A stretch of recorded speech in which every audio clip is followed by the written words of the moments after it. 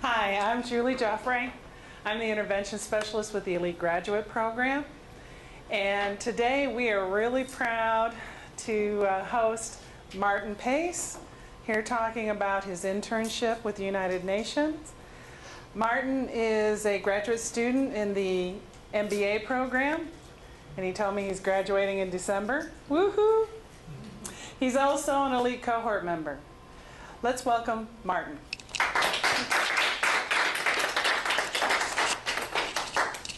Well, um, first off, thank you all for coming today. Um, it's nice to have a good turnout in something like this.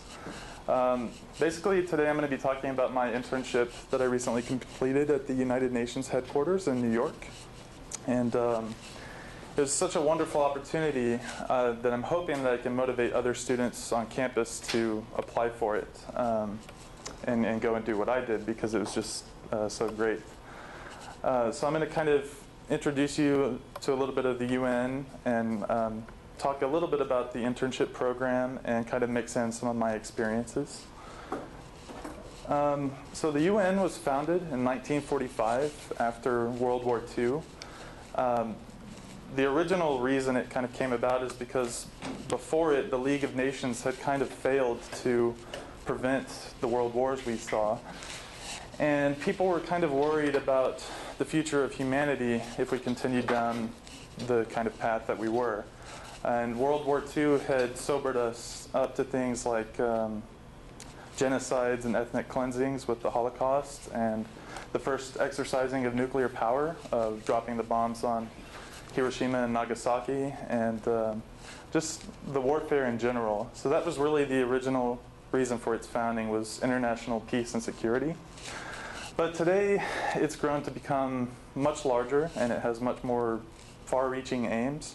Uh, it's not just about international peace and security, it's about anti colonialism and uh, promoting self determination. So when these colonial powers step back from the countries they're controlling, uh, democratization occurs. And so the UN has always tried to assist them in that transition by helping set up polling stations, helping them organize elections, and things of that nature. And it also now serves um, to tackle economic development issues, so uh, things like water, uh, disease, extreme poverty, hunger, um, and promote the economic well being of the developing countries. It also attempts to propagate human rights. Um, shortly after it was founded, it made a declaration of uni- the Universal Declaration of Human Rights, and um, it's ever since been seeking to propagate that around the world so that those rights will be recognized and uh, protected. And punishing crimes against humanity is important. We now have things like the International Court of Justice, uh, the International Criminal Court, and the uh, criminal tribunals for Rwanda and the former Yugoslavia. Um, because before we had any of these institutions, we had no real way to maintain international accountability and punish these kinds of unique crimes. Uh, and also, it's a kind of a leader in humanitarian efforts, um, providing disaster relief, but also tackling some of the more pressing uh, development issues. And it's uh, bigger now, it's 192 states, so it's very big. Uh, when you're at the, the UN in New York, uh, there's kind of an unofficial motto that you'll hear, and it's uh, when nobody else cares, the UN is there. And I, I, found just some pictures that represent kind of the front end of what the UN does. Um, over on the left, there's um, a UN medic treating a survivor of a building collapse in Haiti. And then in the top center, a child is helping a peacekeeper organize shoes uh, that are going to be passed out to survivors. And the top right, there's UN peacekeepers escorting uh, refugees in Darfur, where there's been genocide ongoing on and off since 2003. At the bottom center, I picked that picture because it's kind of unique. Um, that's an all-female police force that kind of voluntarily formed in Bangladesh. And then they came to Haiti to work alongside UN personnel um, to provide kind of a sensitive uh, police force uh, that, that's sensitive to women and children. Um, and then in the bottom right, we have peacekeepers rescuing a child um, following the earthquakes in Haiti. Um, so I'm here today to talk about internship opportunities at the UN, but more specifically, the UN internship program at the headquarters in New York, which is uh, the one that I participated in. Um, but there's many others uh, at the alternative duty stations around the world uh, with the UN Foundation, um, and then some of these other organizations that are major branches of the UN. Uh, and down here I have a link, which I'll have later on. Um, it lists, it, it's a, much more comprehensive list. It's very long of all the internships uh, that are offered elsewhere throughout the UN system. But I'll have that link again uh, towards the end. So the UN internship program at the headquarters in New York is offered uh, three sessions throughout the year, fall, spring, and summer. Uh, it's highly competitive because most of the applicants are graduate students and they're from all around the world. Um, and a lot of people apply. Each session is about 7,000, from which they take about 200, uh, give or take. And this was my group. There was about 205 of us. Um, and we had a photo op with the current Secretary General Ban Ki-moon. He's down there in the center. And uh, this, we're in the rotunda of the General Assembly chamber. And then after the photo op, he gave us a nice 25 minutes um, inspirational talk. It was very uh, interesting. And then afterwards, he was going down the line and shaking people's hands, and so everyone was lining up to try to get their handshake. I got mine, of course, but um, so that was very exciting to meet him. Uh, so, an important part of why I pursued the internship is that I've always wanted to live and work abroad. Um, I don't really know how to explain why. It's just always, I've always had an interest in, um, you know, meeting new people from around the world, going and seeing things, exchanging cultures, and so forth. And the UN was a great way to do that. It's much, you know, like an opportunity would be working with a multinational company where you get to just meet people from all over. And um, the UN is aligned with some of my personal long-term aspirations, which are to create new businesses or nonprofits that address uh, development issues in some way. And one that's really important to me is um, water access, clean, safe drinking water, and uh, sanitation. Because I feel that that's at the root of most other development problems. And um, of course, the UN looks good on a resume, so that was another plus. And I also um, have always, I've always wanted to live and work abroad, but I've never really had a lot of support or understanding from people around me and why I wanted to do so. But I've, I've had, I have an array of friends that uh, over the past several years have really kind of pushed me to start taking real steps towards living and working abroad. And uh, so that was what kind of motivated me to apply for the internship.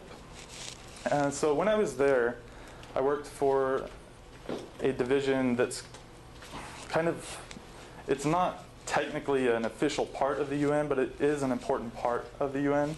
It's the Group of 77. Um, it was originally founded as a group of 77 developing countries, and it's now grown to be much larger than that, 131. And China is kind of an unofficial observer. And what they do is the ambassadors of the delegations that represent these member states, they meet outside of the General Assembly to strategize how they're going to negotiate as a bloc within the General Assembly because uh, the UN is 192 member states, and this is 131. So it's a very formidable uh, group of countries. But they have different priorities, and some certain types of problems plague certain countries more than others. So that's why their priorities are different. And so what the G77 tries to do is find ways that they can align and unify uh, by promoting South-South cooperation. Um, South, I mean the Southern Hemisphere and then that translates into greater north-south cooperation uh, because the rich and industrialized nations of the north start to recognize that these countries are serious and uh, they're powerful and they're more willing to cooperate and you give them the trade preferences they desire and things like that. two important achievements of the G77 um, were the institutionalization of UNCTAD, the UN Conference on uh, Trade and Development. The reason they wanted to make it permanent um, is they were, the developing countries at that time, like in the 1960s, they were really unsatisfied with the way they were being treated under GATT, G-A-T-T, the General Agreement on Tariffs and Trade. Um, and UNCTAD was the first like conference that really looked at trade from the perspective of economic development. And so they thought that that was important because it got people to pay attention and listen to them for the first time in a long time. So they institutionalized it, and it's been recurring ever since the 1960s. And they, in 2006, they mandated COSTIS, uh, the Consortium on Science, Technology, and Innovation for the South. And what that does is it aligns the universities and research institutions and ministers of science and technology and the heads of state and so forth um, to create better communication uh, and streamline everything and give these ambassadors a direct line to these institutions and also to give these institutions uh, more say in their governments through diplomacy. And so those were two major achievements of the G77. Um, one thing I wanted to make clear to everyone who's here today, and we bolded this in the campus announcements, is that um, this internship is what I call universally valuable. Uh, it's valuable to everyone, no matter who you are or what you study. Um, there's something for you within the UN. Um, and not just with internship opportunities, but job opportunities. For liberal arts and humanities, you might find uh, positions for people who study languages or communications majors, artists, uh, you name it. Um, day one, uh, which is the orientation day, I met a French girl who um, she studied economics, but what she was doing was more of a communications type of internship. She was working for UN Women, which is the UN's new consolidated gender entity. And uh, she told me that something like 96 countries have not yet criminalized rape.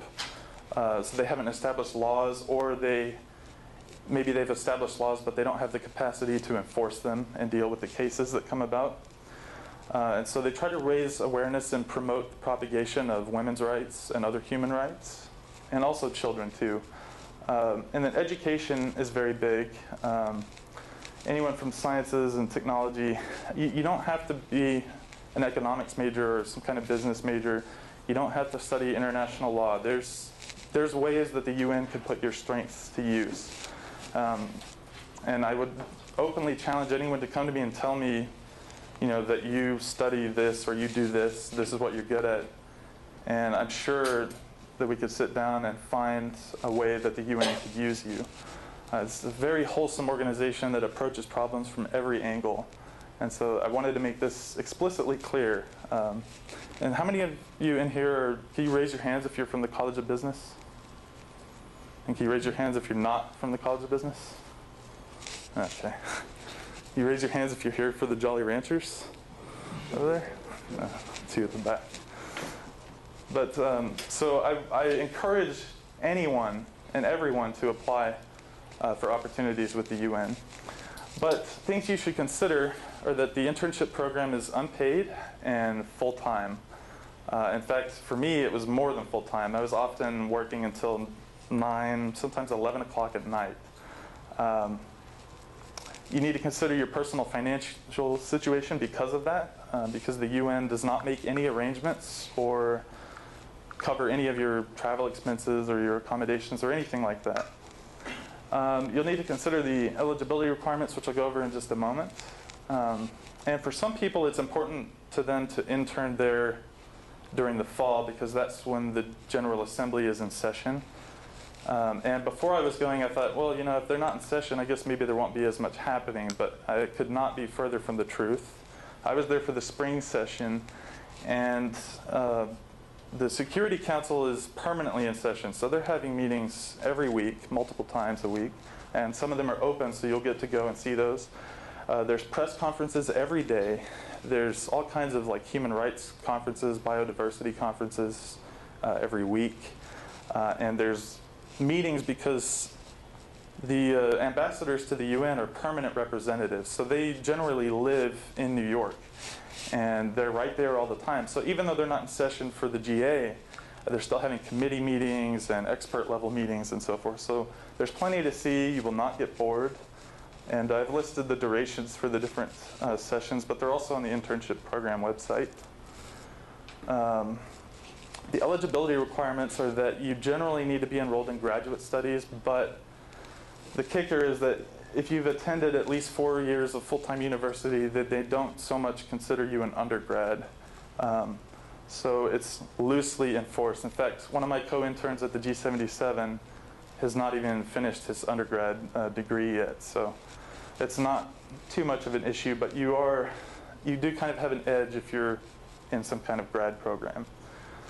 Um, you need to obtain any necessary visas. If you're a US citizen, this is not something you'll need to do uh, because you're just going to New York. But if you're an international student, you may already have the visas that you would need anyway, so it may not be a, a big issue. And I'm, I'm just not too familiar with it, but there's more information on their website, which I'll link to at the end. Um, like I said, you'll have to arrange your travel and accommodations all on your own. Uh, you'll need to show that you have valid medical insurance and you'll need a letter from your doctor stating that you're fit to go and work uh, at the UN for the duration.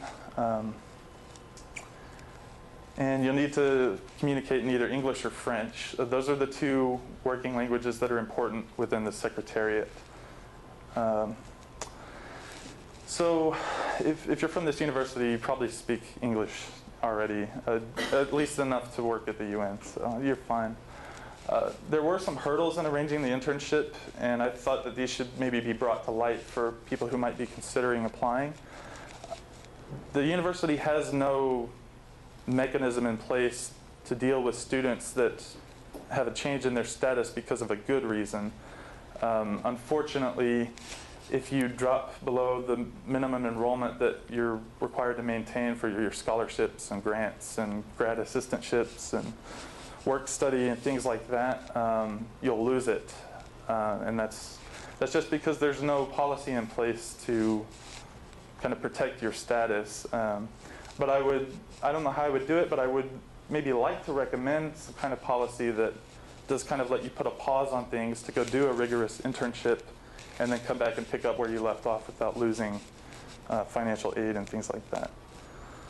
Uh, my solution was to design a three credit hour directed individual research class. I don't know if these are offered to undergrads, but in grad school, uh, I think at every college you can do these at least once. Um, so I did that, and then I, because I knew the people to talk to, I went and I was able to talk to someone who manages graduate scholarships at research and grad studies. And they were able to secure deferrals on two scholarships of mine. Um, so that really helped. And then through the Elite Graduate Program, which is hosting this uh, talk today, they have a travel and fellowship program. So if you qualify to be in their cohorts, um, those are things that you can maybe take advantage of. Uh, and so that allowed me to help alleviate some travel funds and also, uh, the fellowship allowed me to kind of maintain a minimum amount of employment until I got back.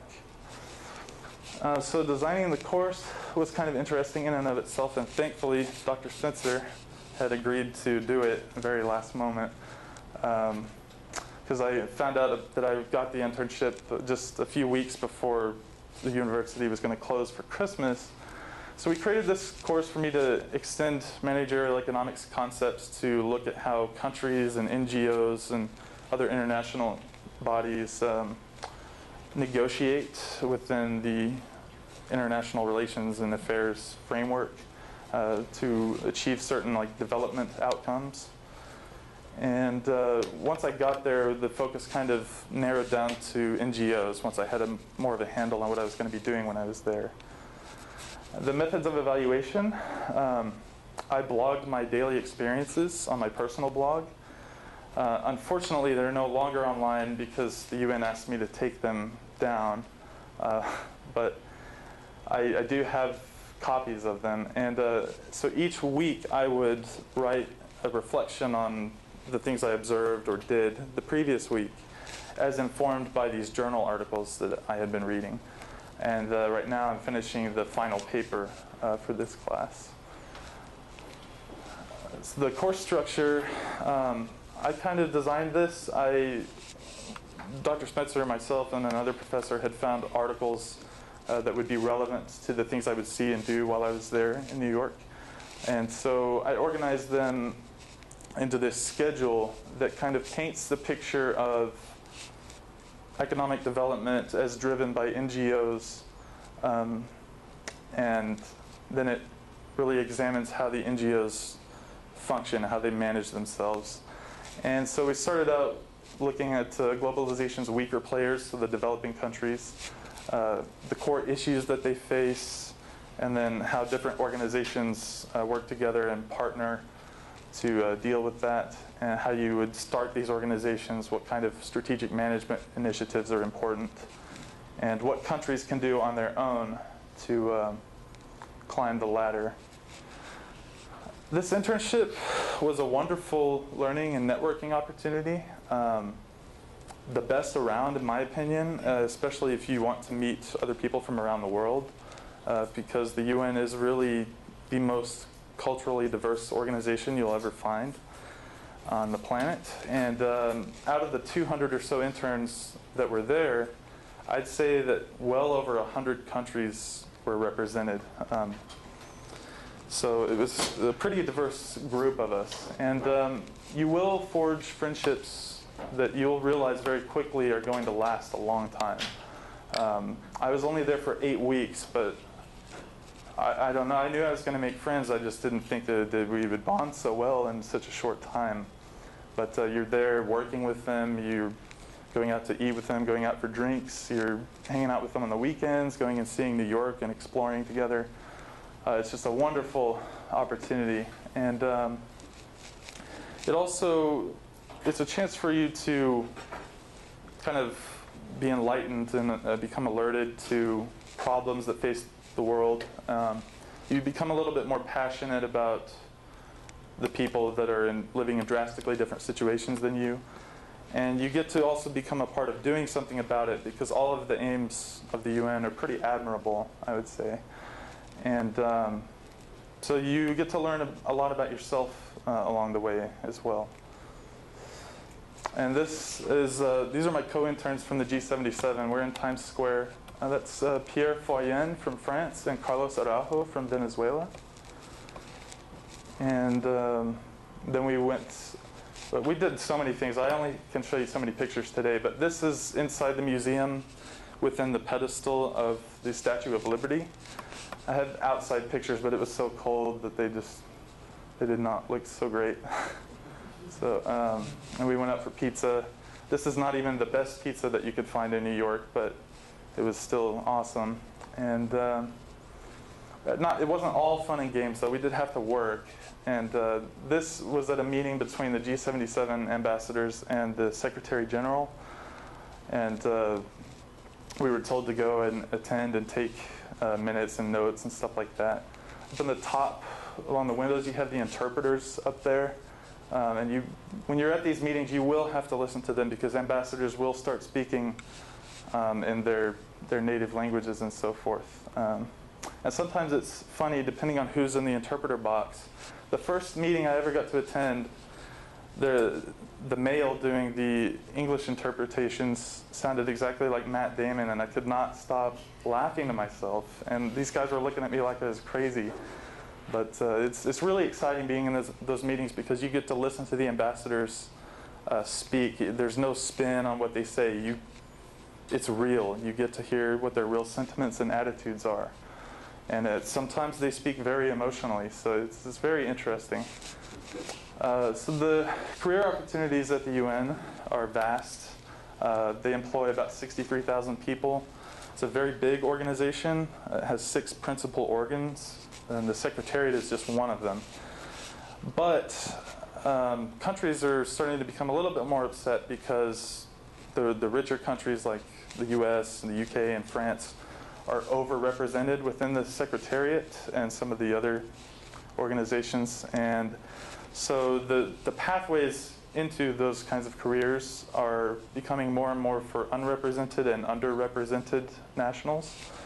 Um, but the field missions of peacekeeping operations are very much open-ended. Um, and in fact, I would prefer to work for those, um, and particularly maybe some of these that I've listed here, because that, and they have some immediacy uh, to the results of you, the work you do. Uh, what I mean is like, I use this analogy, it's maybe not the best analogy, but I think it's pretty good. If the UN is building a wall and you're working at the Secretariat, you could work your whole life there and your career will amount to placing just one brick on that wall. Um, whereas if you're in a field mission or a peacekeeping operation, you're there, um, you immediately see the impact that you're having on the people. You can interact with them and you can walk the streets and talk to them. Uh, you just, you're kind of disconnected from that when you're far away in New York or in Geneva or any of those places. Um, so that's really where I would prefer to be, but there's so many opportunities within the UN. It's absolutely huge.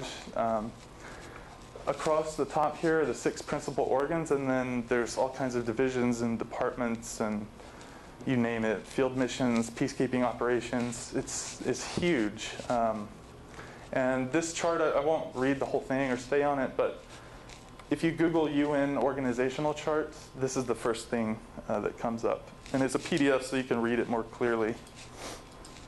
Um, I wrote an internship guide. This is not just a regurgitation of my presentation today.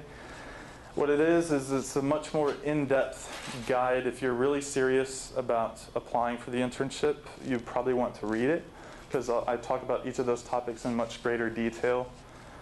Um, and it will, it's not available yet, but it will be maybe over the next couple days on our website, which is right there, elite at uh, tamucc.edu. And this was just a, kind of a resource I created to help people understand and give them insight to the whole process and how it works, what you might expect to see or hear back from the UN and when. Um, I, I, even had advice for writing the cover letter and things like that. Um, this top link is the website for the internship program, and the second link is a list of a comprehensive list of all internships throughout the UN system. And then there's my email address if you have any questions after today. But uh, I'll also take your questions right now. So, yes. Martin, are these links, uh, the top two links, not your email, are they going to be posted somewhere on the Elite site? Um, yeah, well, I don't see why not. We can post them, I think. Yeah. Can we post them here? Gabe? Gabe? Yeah.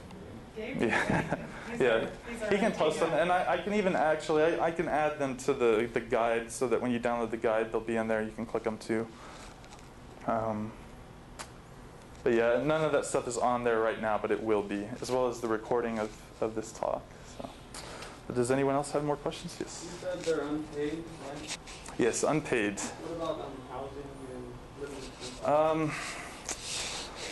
it's kind of like whatever you can find. What I did is I uh, found it, it was called the 92nd Street Y, and what it is is it's a, kind of a student and intern housing thing. I guess you could say it's run by the not the YMCA, but the it's like the um, Young Men's and Young Women's Hebrew Association or something like that.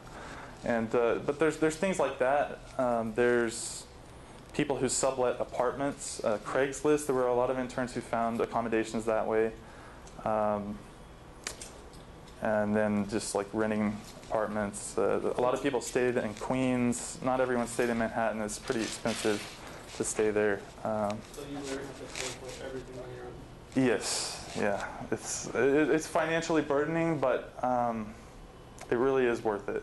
And it, it was really tough for me to to do, but I will say it was very worth it. Um, but uh, they they provide a list, and it's on their website. You can just download it at any time, and it's also I talk about it in the guide.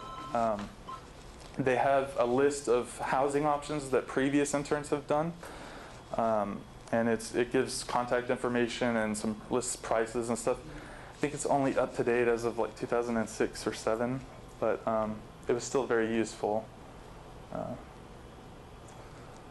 but yes, it's uh, unfortunate that it's unpaid, but they have all the bargaining power. So, but does anyone else have any more questions? And yes. they have no money to pay you anyway. Yeah, they they're they're strapped on budget as it is. Their budget is made from contributions of their member states, and not every member pays its dues on time or in the full amount, things like that. But uh, yes, you had a question.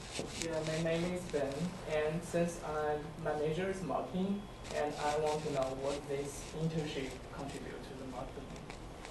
Um, well, I can say that not not really like marketing from like a business kind of role, uh, because the UN's nonprofit, so to speak.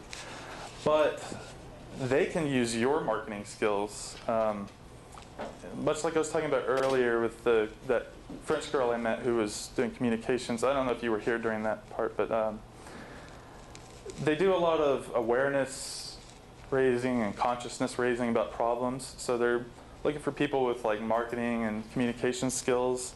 Uh, they also release a lot of publications with data, and they try to make those look nice. Um, they try to encourage people to come to conferences that they hold, um, to get people to volunteer. There's lots of different ways that I could see them using someone with a marketing background. It wouldn't be for for-profit purposes, but you know, it would serve some goal of theirs. So, does that kind of sort of answer your question? Yeah. I could maybe look around more and probably give you a better answer, but um, you can email me if you the, want. The networking and you meet the Yes. people around the world. Networking? Bring the opportunities to the Yeah. area. Oh yeah, for sure. I, I didn't even think about that dimension of it, but yes, uh, you'll meet other people who are maybe study marketing or who work for a business Yeah, or background. things like that. Yeah, the networking side of it was the ultimate thing about the internship. That was the best part. Um, without any of that, it would have been not so great. But uh, did someone else have a question? Yes. Um, when you were there, did you have the opportunity to check how is the, like, the placing process, like, how does, how do they decide, like, where do you fit better, like? Oh, how do they decide like where to put you as an intern? It's different for everyone. It's weird. Um, okay, so they get all the applicants and they run checks on them to see if they kind of meet the preliminary requirements. And then you're thrown into a pool. And from that pool, other departments around the UN will look and see, uh, you know, they'll get stacks of applications and they'll just go through and see who sounds relevant or like they maybe would be a good fit. Um, in your letter, your cover letter, you can write, um, you, you can specifically request that you be placed in a certain area within the UN or that you be assigned to an area that would do certain things uh, if you don't want to mention a specific division. Um, and in some cases, it's not full-time staff of the UN that pick the interns. And in some cases, they're so busy that they'll have previous interns kind of select or suggest interns. Um, and that's how it was for me. Whoever was there before me, um, that group of people, they had kind of made some suggestions to my supervisor. Uh, they had looked through cover letters and kind of Googled people to find stuff about them, and they thought that we would be a good fit. So. Mhm. How much did you say that the, uh, the whole program might cost you? Oh, uh, yeah, I can tell you. And I talk about it a little bit in the guide too. And they say on their website, um, I would ex- expect at a minimum about $5,500. But, um, I mean, you can, I would just say that on average. I'm sure some people do it for less and some people probably do it for much more. But uh, I would say around $5,500. Yeah, and it, that's including everything. And keep in mind, like, you're not going to be able to work a part-time job in the evenings or anything like that because that's when you need to be out with other interns and networking, because that's what makes the whole thing worth its its uh, You had to buy winter clothes. Oh yeah, that's another thing. It- if you're interning during the spring, from January to March, well, like January and February are like the coldest months of the year in Manhattan. Uh, so I didn't have winter wear because you know we're in South Texas, but um, so I had to buy a, a top coat and other stuff like that. So that added onto the expense as well. Um, I did, had not even considered that as a good point. But um, so any other questions? Yes. As you presented, uh, the UN internship is so competitive. So can you share some your own experience how to the the? My own experience, how to How to success? oh how to how to succeed. Um, really, just it's all about the cover letter. Um, because I'm sure what, what you do when you apply is you fill out this online personal history profile. And so all your information in there, like your academic kind of information, um, job experience and stuff, they might scan through that with some automated system. But the cover letter is where you have your most power. Um, so you would, I would really just say you have to write about yourself and, and make it clear to them how you fit with them, why you're a good fit, why you care, why you're passionate about working there and experiencing kinds of things that they do, the kind of people they serve. Um, just try to, you know, market yourself. That's really all I did. Is I just I told them straight up, you know, these are the things I'm interested in, and these are how these are some of my skills and how they link up to those interests and that, that was it i was really fortunate to get it i was really surprised when i got the letter because i knew in advance what the odds were i knew in advance that there was about 7000 applicants each session so i was just um, thrilled to death when i got the letter so that's the best part of the internship is getting the letter in your email so but I hope you guys will apply. It's a very worthwhile internship. Um, and if you're from, if you're a foreign student, then a lot of times your home country may have grants and scholarships and things like that that you can apply for to use to help support you in going there. So that's another avenue.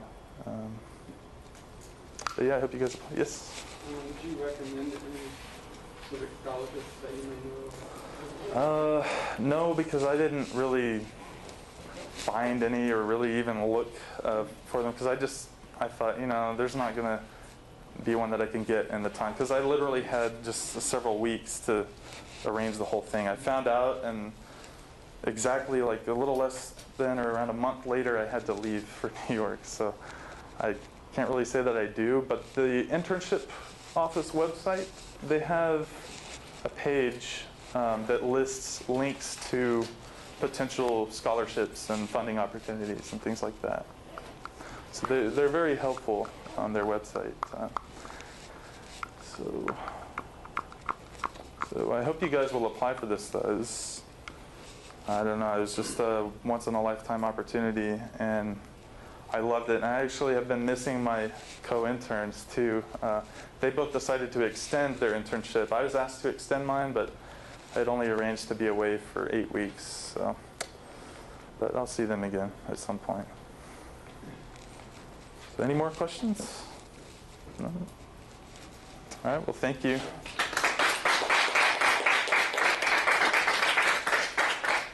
Please take a moment to fill out the evaluation form before you leave, and you can lay it upside down on the, on the table on your way out. And you're welcome to the pad if you want to keep one.